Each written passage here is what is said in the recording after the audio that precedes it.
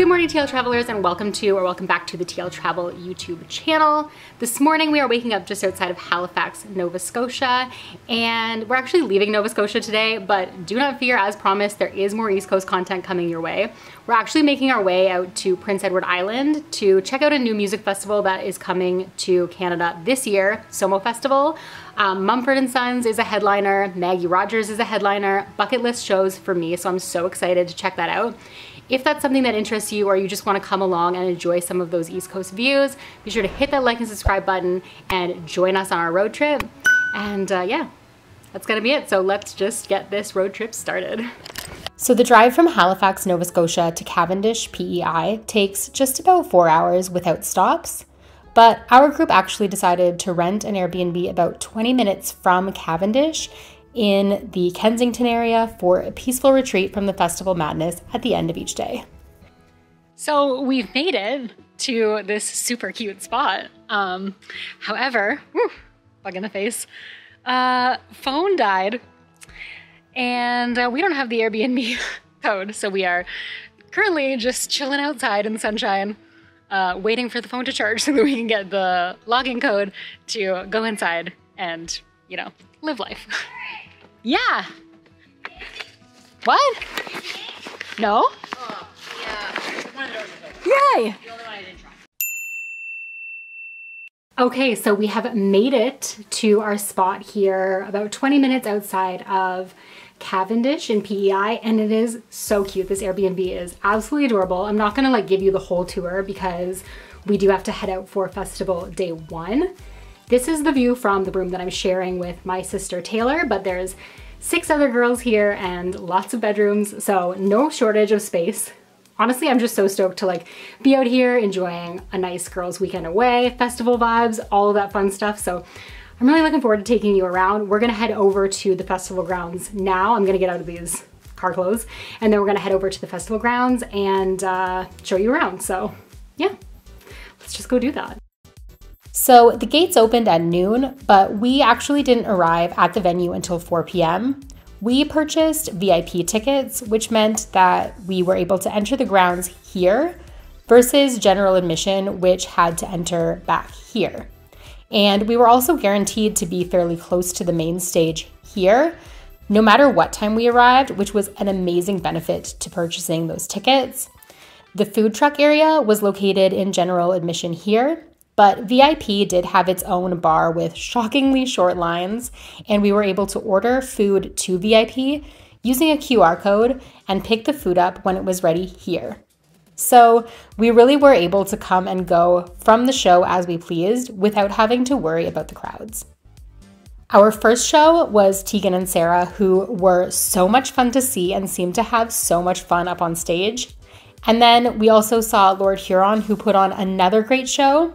But the headliner for the night was Maggie Rogers, and she was absolutely amazing.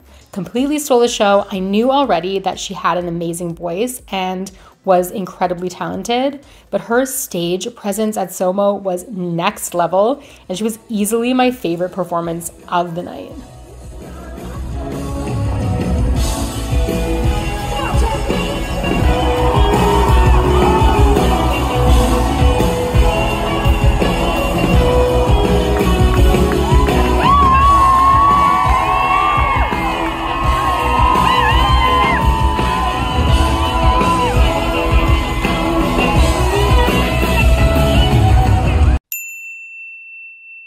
Okay, so it is day two, festival day two. I'm sure you can tell my throat has had its better days. I was screaming last night. Uh, Maggie Rogers was amazing.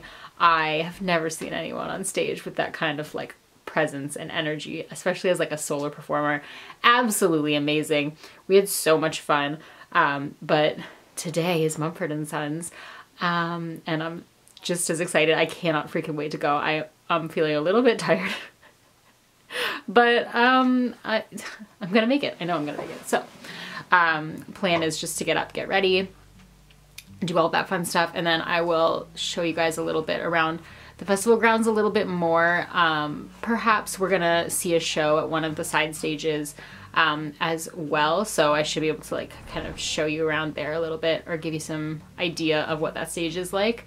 Um, and then yeah, and then yeah, I guess I'll just give you guys like my full sort of like thoughts on the festival experience as a whole. Once it's over, I'm ha- obviously having an amazing time, but maybe I won't jump the gun on a 10 out of 10 review just yet. um, but yeah, all in all, we're just having like a blast and it's just so nice to like be out here in PEI with the girls and just like having such a great time. So um, yeah, Mumford and Sons is really what we're here for today, but Vance Joy is on and a few other artists that we're really excited to see. So yeah, wake up with me, come along with me, and let's go.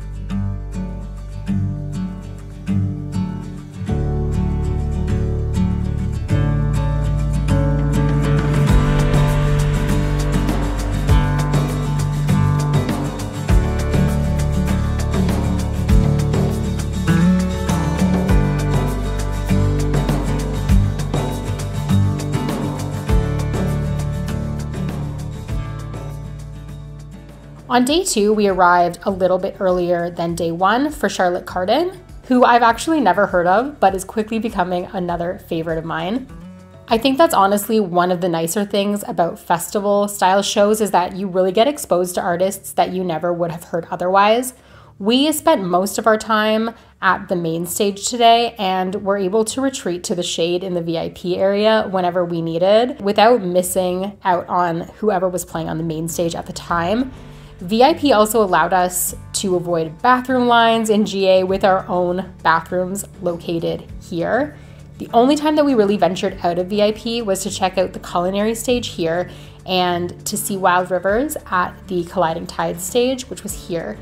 But for the most part, we stuck to the VIP area as that's where the majority of the acts that we came for were playing. Vance Joy was another favorite both of the day two lineup, but also of Sommo overall. And we had so much fun dancing and singing along. But the headliner that I flew all of this way for was, of course, Mumford and Sons. Did they invite Maggie Rogers on stage with them and throw their initial set list to the wind due to an unexpected beach injury? Yes, they did. But was their set absolutely everything that I hoped it would be and more? Absolutely.